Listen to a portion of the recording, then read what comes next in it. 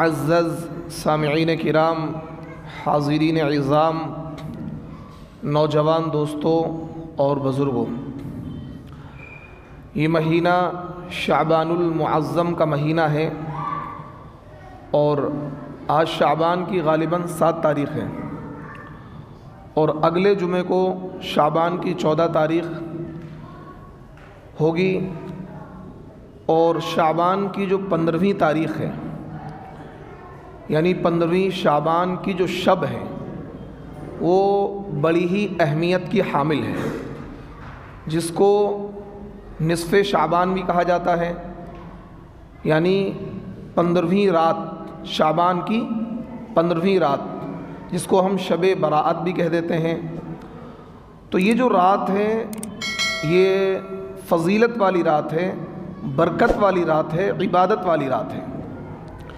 देखिए इस वक्त उम्मत मुस्लिमा में तीन तरह के लोग हैं इस रात को लेकर। एक वो तबका है जो इस रात की फजीलत का इनकार कर रहा है और वो ये कहता है कि इस रात की कोई फजीलत नहीं है। और एक वो तबका है जो इस रात की फजीलतों को बहुत ज़्यादा बढ़ा रहा है। एक तबका तो वो है जो ये कहता है कि इस रात की कोई फजीलत नहीं है। वो सिरे से इसकी फजीलत से इनकार करता है। और उसकी दलील है कि इस रात की जो भी फजीलतें हैं, वो ज़यीफ़ अहादीस से मरवी हैं।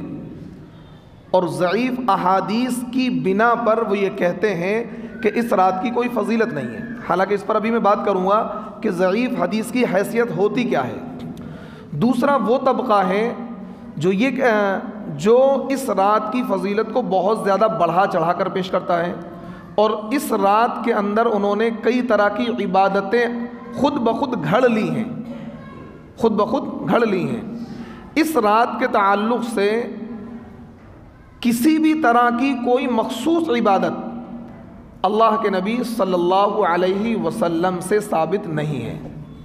पंद्रहवीं शाबान की जो रात है, उस रात की फजीलत तो अहादीस से साबित है, लेकिन उस रात में कोई मखसूस इबादत, मखसूस तरीक़े से ये बिल्कुल भी साबित नहीं है। तो एक तबका फजीलत का बिल्कुल इनकार कर रहा है, एक तबका फजीलत को बहुत ज़्यादा बढ़ा चढ़ा कर पेश कर रहा है और इस तरीके से जैसा कि शब कदर भी इसके आगे मान पड़ जाती है। देखिए, एक होती शब बारात, एक होती शब कदर। शब बारात पंद्रहवीं शाबान की रात को कहते हैं, जो अगले जुमे में चौदह शाबान होगी और जैसे ही मगरिब की नमाज़ होगी, उसके बाद पंद्रहवीं शाबान लग जाएगी। तो पंद्रहवीं शाबान की जो रात होगी, वो शब बरात कहलाएगी। और एक शब कदर, आम तौर पर जो अवामी तबका है, जो कम पढ़े लिखे लोग हैं, वो शब बारात को ही शब कदर कहते हैं। भाई शब कदर कब की है? शब कदर कब की है? तो ये शब कदर नहीं है शब बरात है। लैलतुसक भी इसको अरबी में कहा गया है। तो शब कदर रमज़ान में पाई जाती है।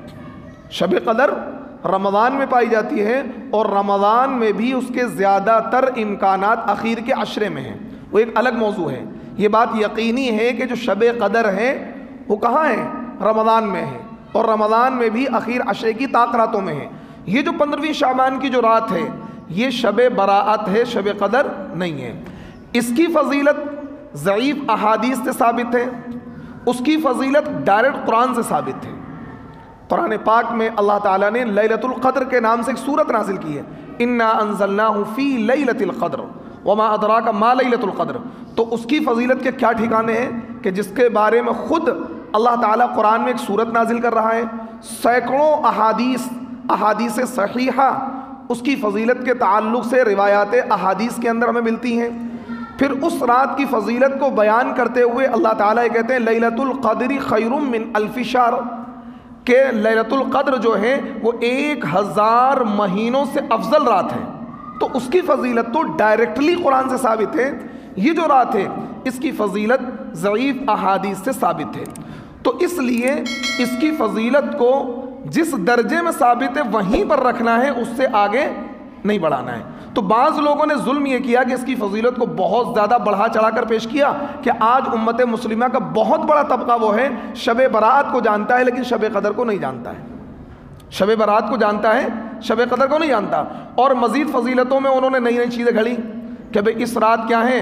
आम तौर पर मैंने देखा है कि लोग नए कपड़े पहनते हैं। बाकायदा स्पेशल क्या है? शब बारात के लिए जोड़ा सिलवाते हैं। और उसमें नई चीज़ें और कुछ लोगों ने ऐड करी। उसमें हलवे और पूड़ी और पकौड़ी भी चलने लगी। ये इसका अपडेट वर्जन है। ये इसका क्या है? शब बारात में एक अपडेट वर्जन आया कि उन्होंने सोचा, भाई, किसी भी चीज़ में खाने पीने के बगैर काम नहीं चलेगा। और शैतान ने भी सोच रखा है कि मैं तुम्हें क्या है, इबादत करने नहीं दूँगा। तुम्हें इबादत करने नहीं दूँगा।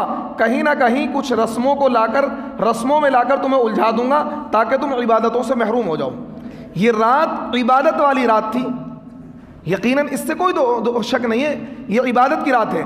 लेकिन इस रात में किस तरीके से इबादत करनी है वो उसको मैं बताऊँगा। नबवी तरीका क्या है? नबी का तरीका क्या है? सहाबा का तरीका क्या है? ताबीन का तरीका क्या है इस रात में इबादत का? और हमारा मौजूदा तरीका क्या है? तो ये रात इबादत की रात थी तो औरतों को घर की खातन को शैतान ने इस काम पे लगा दिया कि तुम पूरी रात हलवे बनाती रहो। तुम क्या है, पूरी रात हलवे बनाती रहो? तो पूरी रात वो चने की दाल का हलवा और गाजर का हलवा और क्या है, बहुत सारे हलवे उसमें बनने लगे। और उसमें बिरयानी और नई नई चीज़ें उसमें क्या है, रोज़ाना उसमें शामिल हो रही हैं। और नौजवानों को इस काम पे लगा दिया कि तुम्हें मोटरसाइकिल लेनी है और उस पर पाँच पाँच बैठने हैं और पूरी दिल्ली के राउंड लगाने हैं। तो नौजवानों को मटर गश्ती पे लगा दिया शैतान ने और इसी तरह बूढ़ों को इस काम पे लगा दिया, वो आराम से जाके सो जाए। और जो खातन है, उनको क्या हलवे हलवे पकाने पर लगा दिया?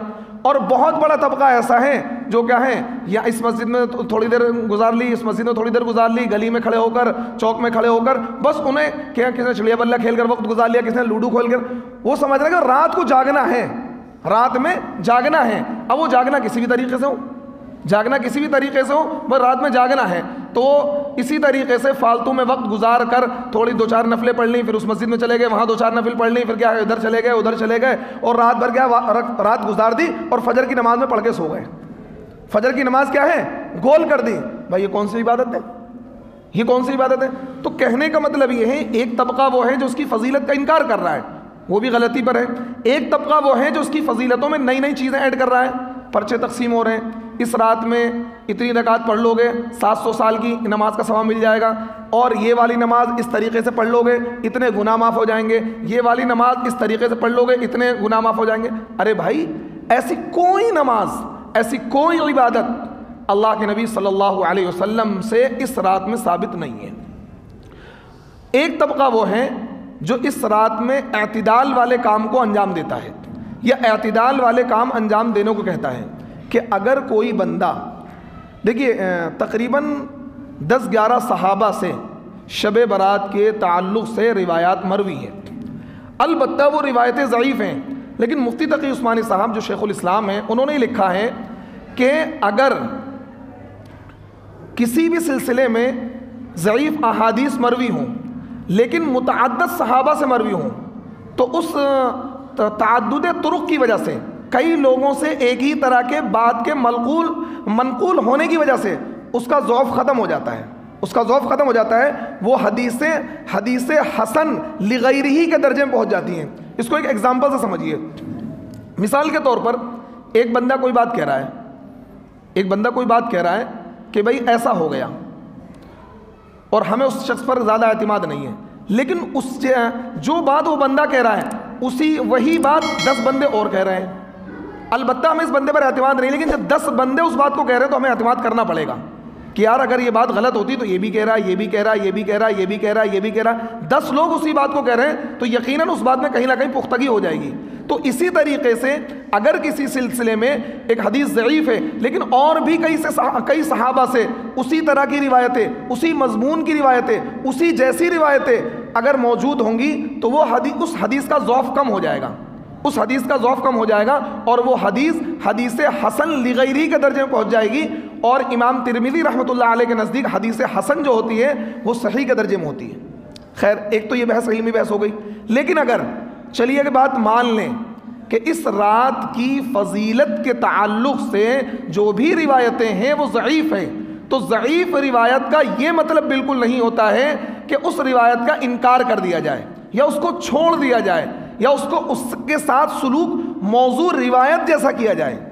आम तौर पर एक तबका हमारे वहाँ अहल हदीस जो अपने आप को कहलाते हैं, या गैर मुकलदीन जो किसी की तकलीफ़ नहीं करते हैं, वो ज़यीफ़ रिवायतों के साथ इस तरह का सलूक करते हैं, जैसा कि कोई रिवायत ही नहीं है, ये हदीस नहीं है।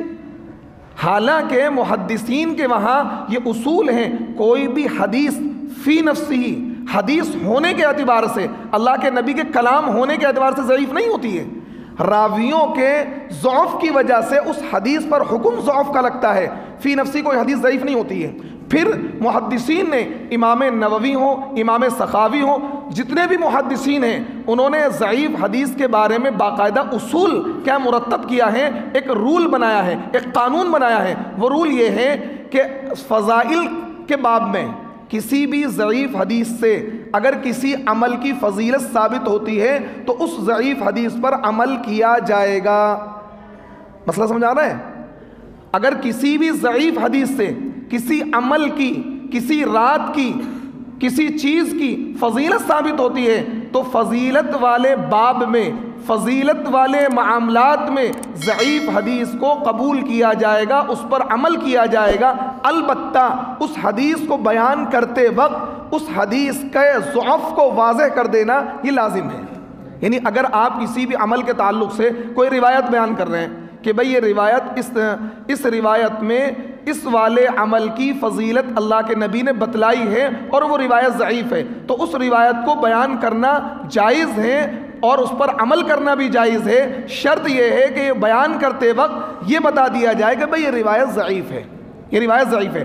बग़ैर वजाहत किए हुए ज़यीफ़ हदीस को बयान करना फिर जायज़ नहीं है। तो इससे पता ये लगा कि शब बरात के ताल्लुक़ से जो रिवायात हैं, अगर वो ज़यीफ़ हैं अगर वो ज़यीफ़ हैं फिर भी काबिल अमल हैं काबिल इस्तिफ़ादा हैं कि उन पर अमल किया जाएगा उनसे इस्तिफ़ादा किया जाएगा उनसे फ़ायदा उठाया जाएगा।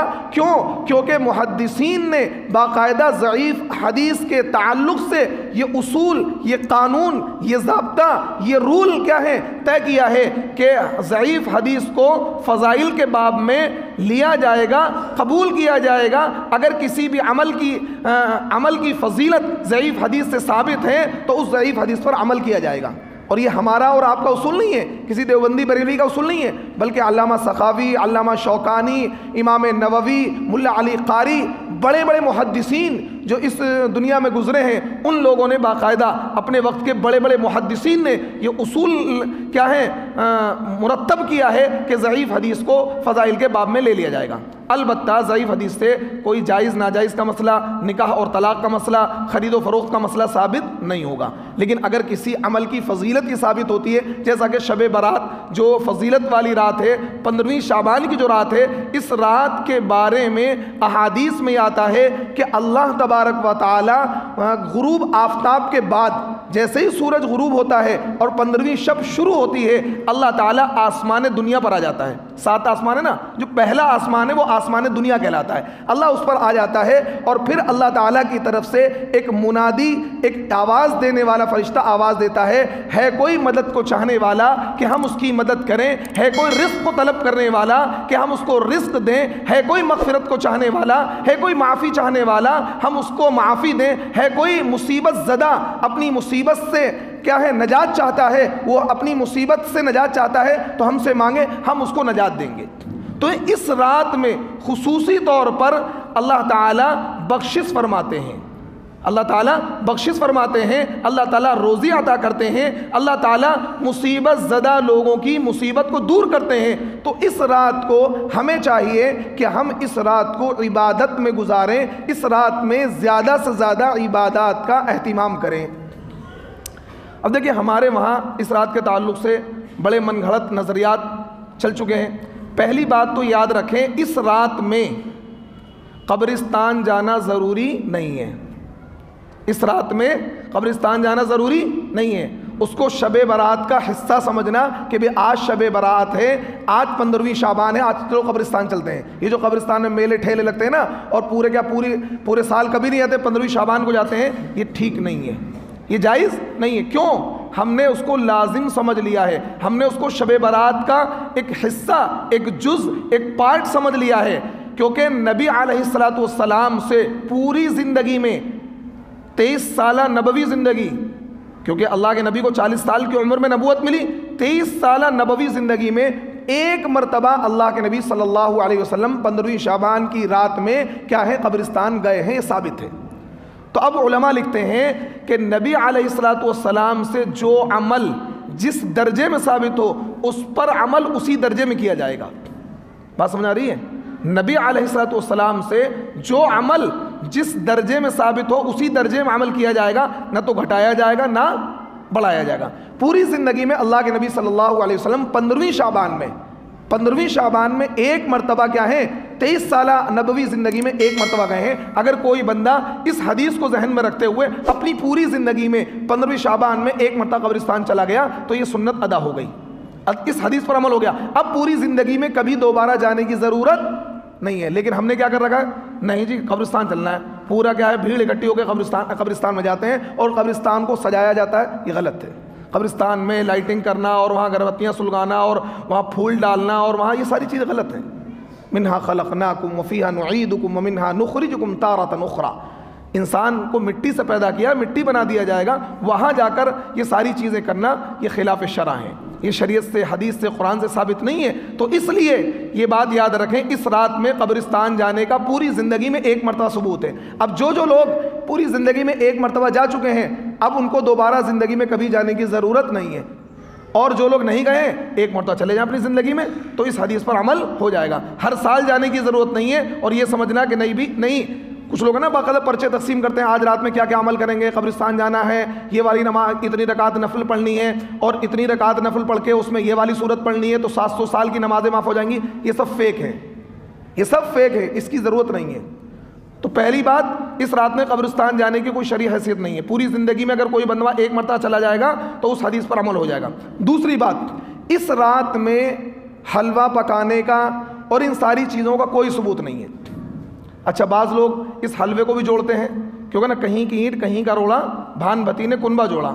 जब अहले बिदात से आप सवाल करेंगे कि भाई, हलवा क्यों पकाते हो तो यहाँ पर भी एक वाक्य फिट कर दिया उन्होंने। कह लेंगे भाई, वो क्या है? अल्लाह के नबी सल्लल्लाहु अलैहि वसल्लम के दांत शहीद हो गए थे गजब उहद में। गजब उहद क्या है? शवाल में हुआ है।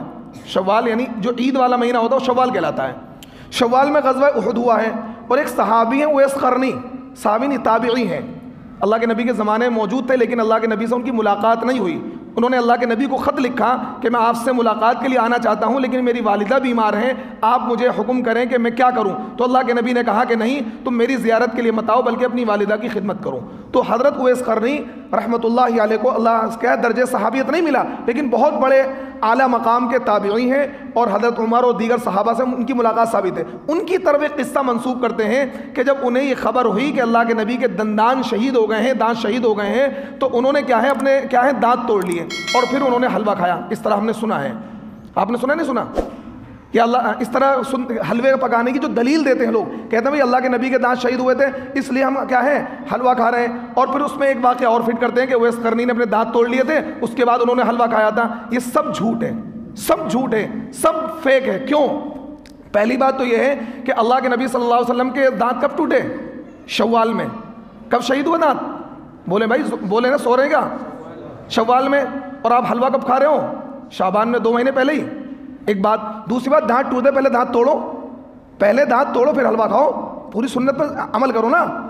और फिर तीसरी बात यह है कि वो हलवा हलवा जब दांत टूट जाते हैं तो हलवा कैसा? बिल्कुल गीला गीला से खाया था और आप तो इतना मज़बूत हलवा बनाते हो सर पे मार दिया, सर फूट जाए। हमने देखा गाँव देहात में ऐसा हलवा बनता है चावल का, कि अगर सर पे मार दिया तो सर फूट जाएगा, हलवा नहीं फूटेगा। तो भाई कौन सा कौन सा तरीका है? बात समझ आ रही है? तो अगर हलवा खाना है तो शवाल में खाइए। पहले दांत तोड़िए, फिर हलवा खाइए बारीक। क्या है? गीला गीला सा बना के पी लीजिए। तो हम मानेंगे हाँ भाई, ये नबी का पक्का आशिक है। नबी का पक्का आशिक है। दांत तोड़े नहीं और हलवा खा रहे हैं तो गलत बात है भाई।